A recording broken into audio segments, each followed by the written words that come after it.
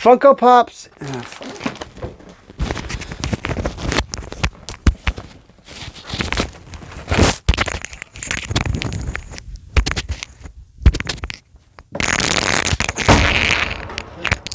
Good.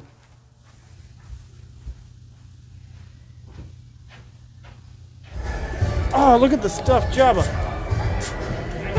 I love. That